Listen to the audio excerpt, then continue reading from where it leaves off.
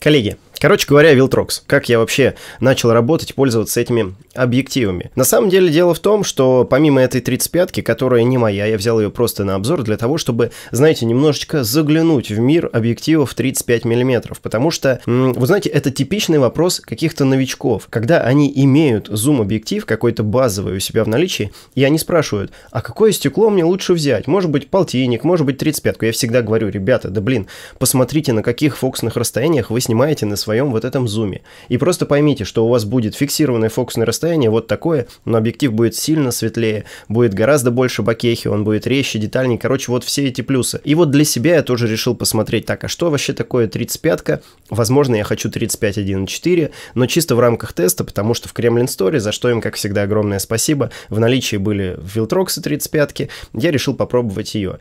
И вначале я сказал, что меня с ними связывает, да? Все дело в том, что у меня в личном пользовании уже, наверное, более года. Сначала я купил 85 1.8 второй версии. Шикарная 85-ка, замена базовой 85-ки соневской. Всем, у кого full frame от Sony, E-mount, я рекомендую этот объектив как недорогая 85-ка, которая закроет ваши потребности 85-ки. Вот только и всего. И также 24-ка. Это, как знаете, универсальный, просто средний широкий объектив, очень компактный, легкий, хороший автофокус и 1.8. То есть вся линейка у них 1.8 постоянно постоянная. У меня, наверное, как у многих других, есть зум с постоянной 2.8, на котором я снимаю вообще все подряд.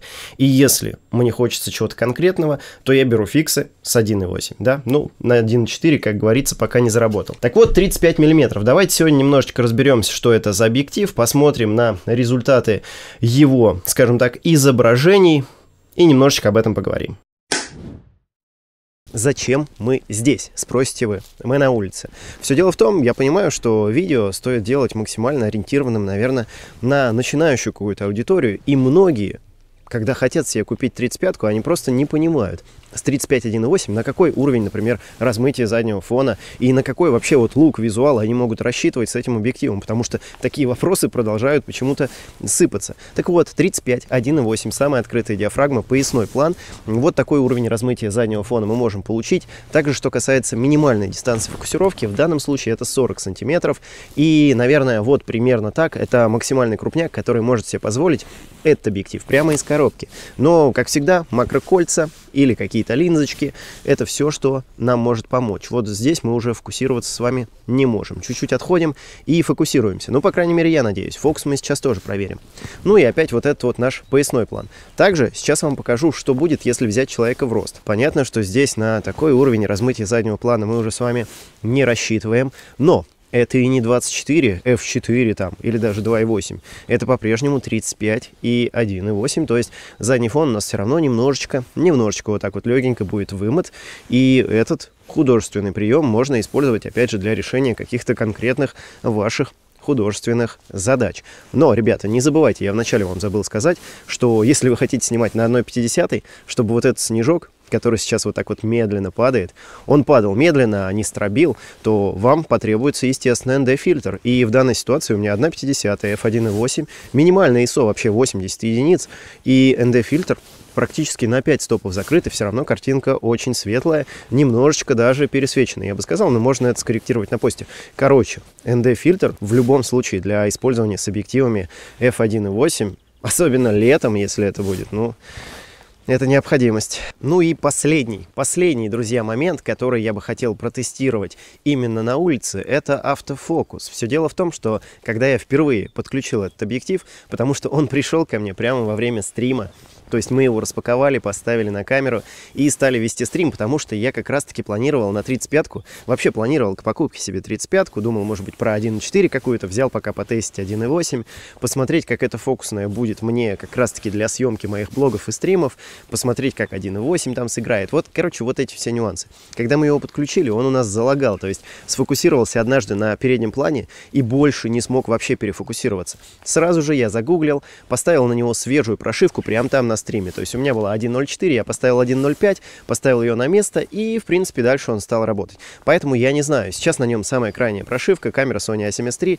все настройки автофокуса на средние выставлены, то есть не быстрый, не медленный, все по среднему, все базовое, как я снимаю, собственно, и с другими объективами. Вот, посмотрим, короче, что он может. Давайте я уйду сейчас с кадра, уйду, потом вернусь. Вообще, вот эти вот все прыжки, не прыжки, то есть как он на человека вообще нормально реагирует. То есть он, он считает меня человеком или нет, и насколько он быстро меня считает человеком. Да, давайте вот попробуем отойти с лицом вот так вот подальше. Как это вообще будет выглядеть? Неизвестно. Неизвестно. Но в любом случае мы посмотрим потом и узнаем, фокусировался он или нет. Я вам сейчас здесь могу что-нибудь приписать. Могу отвернуться вот так вот, уйти. Наверное, вот вообще, когда отворачиваешься, все время с этим возникают проблемы. И вы слышали, наверное, что сейчас вот свежие камеры, в том числе и Сонька, по-моему, вот эта вот R5, которая уже, у нее системы высокого разума, да, машинного, и там она уже может просто людей, просто людей обводить. То есть человек спиной отвернулся, ничего, спина это тоже человек, продолжит его тречить. Здесь у нас, конечно, таких технологий еще не завезли, потому что s выходила уже аж три года назад, на дворе 23-й. Короче, ребят, специально болтаю, что там с фокусом, давайте посмотрим, потому что этот косяк меня прям очень сильно напряг, но так как я его обновил, возможно, никаких проблем больше быть не должно, потому что все остальные вилтроксы 24, 50, 85, все, которыми я пользовался, которые у меня есть в личном пользовании, они с фокусом проблем не имеют. И я их тоже всех обновляю все время для последней версии, и, собственно говоря, чувствуют они себя прекрасно. Ну, в общем-то, наверное, достаточно здесь уже различного рода тестирования, и давайте вернемся, вернемся в студию.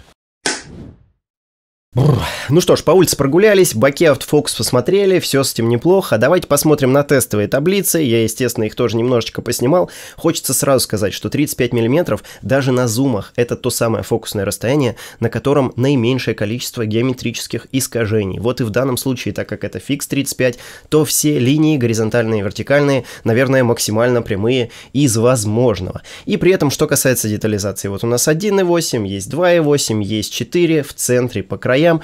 Все это можете посмотреть, для себя соответствующие выводы сделать. Но скажу, что заметил я. Во-первых, я снимал на 1.8, весь этот стендап записан на 1.8, на улице мы снимали на 1.8, все это вы уже своими глазами видели. Опять же, на мониторчике 4К ставим и смотрим в полном разрешении, да желательно на телеке, чтобы вот это нивелировать компрессию YouTube и посмотреть максимальное из возможного. Вообще, вы могли заметить, что ранее все свои блоги я снимал на Tamron 28-75, и фокусное расстояние было где-то, может быть, 40-40 45 мм, в зависимости от того, вот насколько мне было удобно. И все это на 2.8. Сейчас же у нас 35 мм и 1.8. Я могу подставить вам какой-нибудь свой старый блок, вы почувствуете разницу, да, в изображении или не почувствуете ее. И, что интересно, при прочих равных настройках, если мы этот объектив закроем до 2.8, то все равно общая экспозиция в кадре будет на треть стопа выше, чем на Тамроне.